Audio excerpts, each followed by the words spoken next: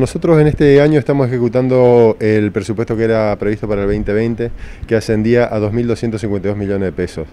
Nosotros para el año que viene tenemos presupuesto estimado en 3.146 millones, lo que representa un incremento del 30% en el presupuesto de este año. ¿Cuáles son las obras más urgentes? ¿Dónde está el foco después de bueno, esta situación de pandemia que frenó todo?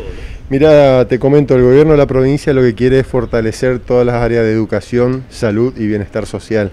Si vos tomás en cuenta esos rubros, nosotros tenemos aproximadamente el 90% de, ese, de las inversiones en esos rubros, que son como te dije, salud, bienestar social y educación, y haciendo un monto de 2.800 millones de pesos aproximadamente. Todo va de la mano con algunas de las obras que se conocieron por ahí ya en estos meses, entre las que incluyen hospitales, sé que está proyectado refacciones de escuelas. Sí, nosotros este año hemos entregado y puesto en funcionamiento el hospital neonatal de acá de la ciudad de Posadas, que es un hospital que tiene un nivel de complejidad altísimo y hemos entregado también el Hospital de San Vicente, que es un hospital de nivel 3.